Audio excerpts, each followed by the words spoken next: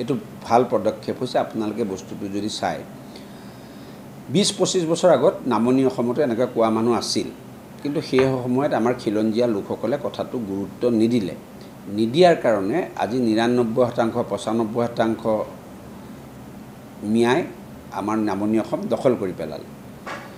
আৰু সেইটো ক্ৰমান্বয়ে উজনি মধ্য অসমলৈকেতো হ'লেই এইফালে ঢেকীয়াজুলিলৈকে এইফালে নগাঁও পাৰ হৈ কলিয়াবৰলৈকে হৈ গ'ল কামটো।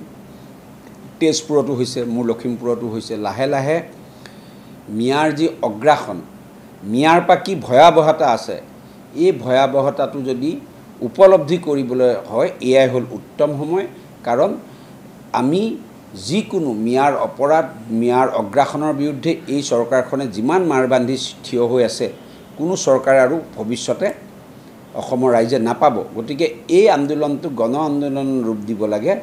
আৰু কংগ্ৰেছ দলকো মই অনুৰোধ জনাইছোঁ তেওঁলোকে পাক লগাই যাতে এই ব্যৱস্থাটো কাৰণ তেওঁলোকৰ ভোট বেংক খহিব বুলি পাক পাক যাতে নলগায়।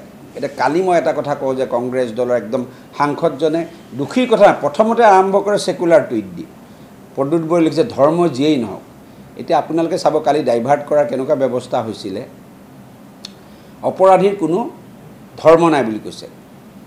মই কেইবাটা আন্দোলন কালি দেখিছোঁ মিয়াসকলে কৰা। যিসকল মিয়াই সচৰাচ জীৱনতো কেতিয়াও টুপিটো পিন্ধি নাথাকে কালি আন্দোলন কৰাৰ সময়ত টুপিটো পিন্ধি লৈছে।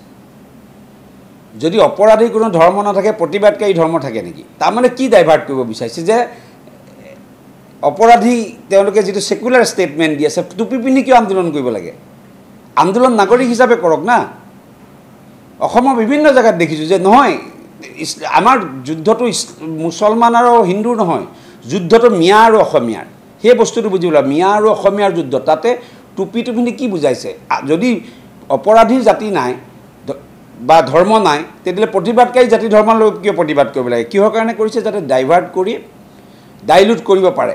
কিন্তু এই অপৰাধ প্ৰৱণতা হোৱাৰ একমাত্ৰ কাৰণ হ'ল গোটেই পৃষ্ঠপোষকতাটো এই মিয়াসকলৰ কংগ্ৰেছ দলে কৰে আৰু কংগ্ৰেছ দলৰ লগত তেওঁলোকৰ সম্পৰ্ক মাতৃ আৰু সন্তানৰ নিচিনা।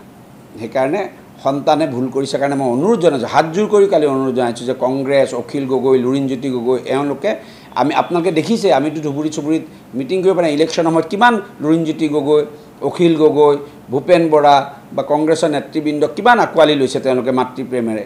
গতিকে এতিয়া অভিভাৱকৰ দায়িত্ব পালন কৰা মিয়া এৰিয়াত অভিভাৱকৰ দায়িত্ব পালন কৰি সমাজখনক বা তেওঁৰ সন্তানসকলক শুধৰাই দিয়াৰ সময় কংগ্ৰেছ দলৰ গতিকে সেই আন্দোলনটো কংগ্ৰেছে মই আশা কৰিছোঁ গৌৰৱ গগৈ প্ৰদ্যুৎ বৰদলৈ ৰকিবুল হুছেইন ভূপেন বৰা দেৱব্ৰত শইকীয়াই নেতৃত্ব লৈ যাম